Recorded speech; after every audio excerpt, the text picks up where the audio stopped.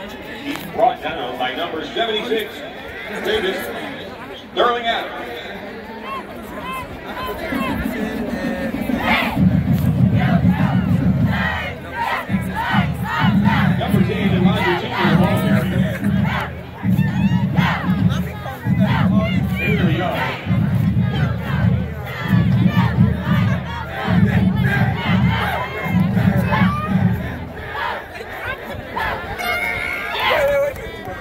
On the tackle, number 40, Matt Bond.